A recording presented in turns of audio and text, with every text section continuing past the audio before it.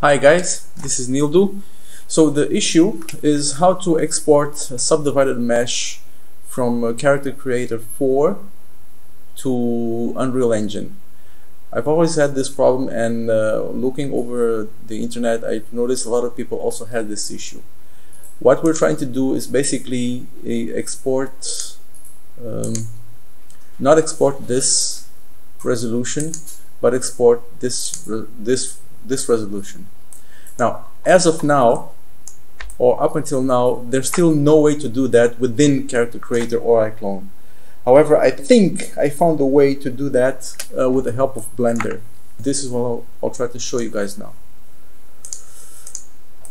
Okay, with the with the character cr uh, created and selected, what we have to do is go to File, Export, FBX, Clothed Character, and then what we do here is I've already done this before so that's why the settings are not default.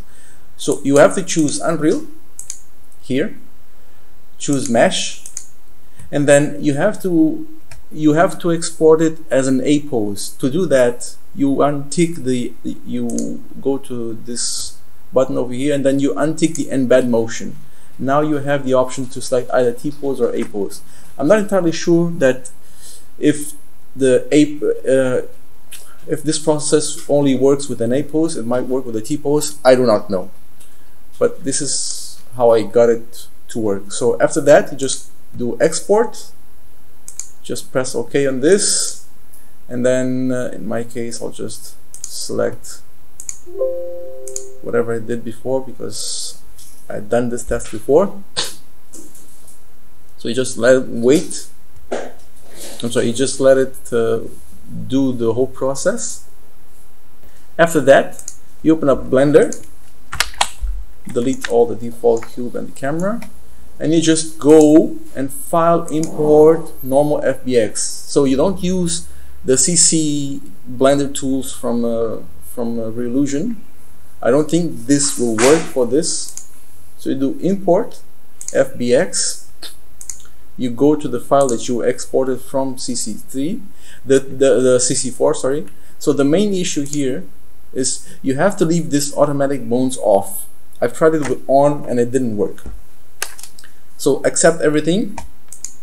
So yeah, after a while, what we get is this. Now I don't know why this bone ends up like this or in, in this position, but it doesn't seem to be affecting anything in, uh, in the final result what we need to, to check now is whether or not this mesh will be affected if the armature is turned off. So as you can see, if I turn it off, nothing is nothing is deforming uh, in a weird way. So so this is good. So that's why we need to export this as an A pose from uh, Character Creator. I tried to exporting uh, using the default um, A pose from Unreal and it didn't work.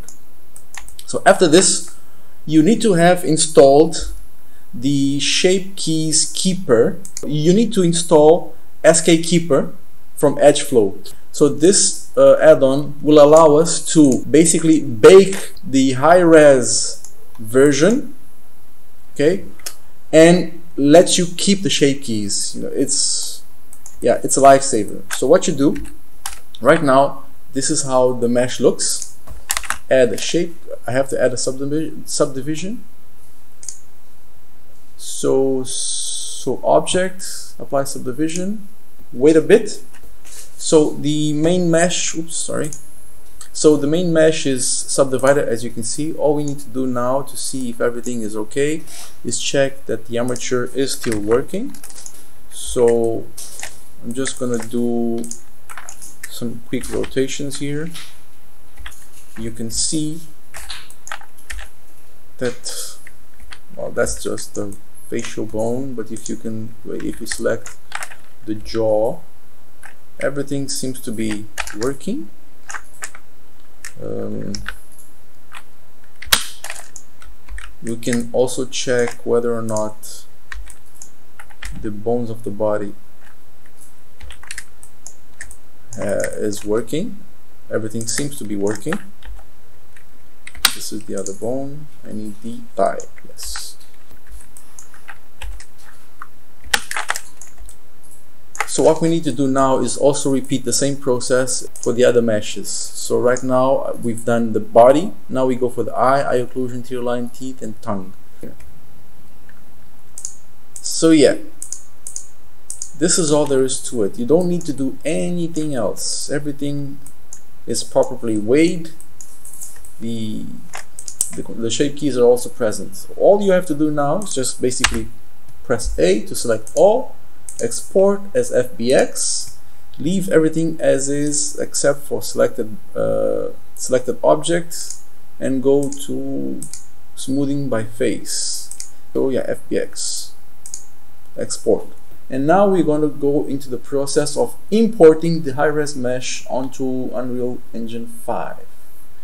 So we'll just do this, import. Now this is the part that's going to take a while at least for me, you know, it's it took about 15 to 20 minutes. I'm not kidding. At some point, I actually thought that Unreal had crashed or froze, but no. I just let it play it out, and I think it's going to happen to you guys as well. As soon as you press open, this is going to take a long time. I even timed it. For this character in particular, it took it took about 16 minutes to export. Okay, after about 16 minutes again, I finally have the FBX import options window. Here I don't really do need to do anything other than check if import morph targets is on. I'll, I'll just leave import animations, but in this case my character doesn't have any, any animations yet. I'll just press import. This will also take a bit of time, but not as much as the first uh, the first stage of the process so yes after about I don't know 30 seconds or so we finally have the high-res mesh imported onto Unreal Engine 5 let's see how it worked so if you double click so yeah this is what's happening right now. Um, aside from these bones I don't really know why they they end up like this but you know it's I, I can see it's the IK hand bones. Some other bones seem to be also misaligned. I don't know I don't know why or how to fix them. But it doesn't seem to be affecting the animations that come from iClone 8 if you want to see I can show you the wireframe. As you see this is the subdivided mesh. Let me see. So if you go to the window where you can see the morphs let's just check the morphs if, if everything is okay. Um, just wait a bit okay. As you can see the morphs seem to be working. None no other part of the mesh is moving. Earlier when I tried to export this using the you know the A pose that uh, for Unreal that comes with CC4 whenever I moved these uh, these sliders for some reason the the other parts of the mesh would also move. And so that's why I said please import the mesh or please work with the mesh with an A pose so yeah everything seems to be working so now I'll import an animation done that I did with iClone. I have iClone 8 open here. This is just a test animation. I wanted to see how well it imported back into Unreal. So what I did here just started with an A pose and I purposely uh, put the character away from the 000 position. So in this case I have him animated. Don't mind the animation of the hands and the face. This this is just a random animation. I just wanted to test if everything comes into I, uh, into Unreal Engine 5 properly. I'll just do file export export FBX Unreal. This is the proper range. I don't need the texture I don't need the max texture size. I leave everything at default just to export. After all this is done I just save I'm just gonna overwrite this. This is basically the same file that I did before as a test.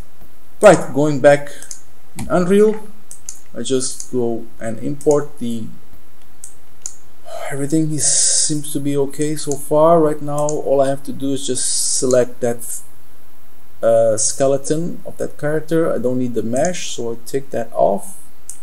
Just check if 25 FPS is done and all we have to do is just import.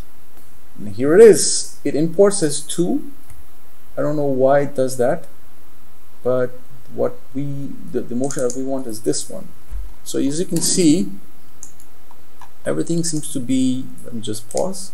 Everything seems to be in order. I mean regardless of whether or not these bones seem to be misaligned even the bones for the fingers. This bone I don't know why it's pointing that way. And if I show wireframe as you can see this this character doesn't have LODs yet. That's gonna be my step my next step. But I just wanted to show you that it is in fact working with the high-res mesh and nothing is deforming uh, in a bad way. Just close this. I can even try and use level sequence here. Just let me delete this one. Go to Kari. High-res mesh. Oopsie. And let me just put this 4 and you can you can see that it's properly it's properly imported at 25 fps as well. Everything seems to be a-okay wireframe you can still check it's still going for subdivision mesh. So yeah finally this is a workaround. I really wish that the Reallusion team can get this working without having to go on to other CC, uh, DCC apps it would really help a lot if we could just go from CC to Unreal. But hey if that's not possible this is the way to go for me. So thanks for watching. I hope you learned uh, something from this. Bye bye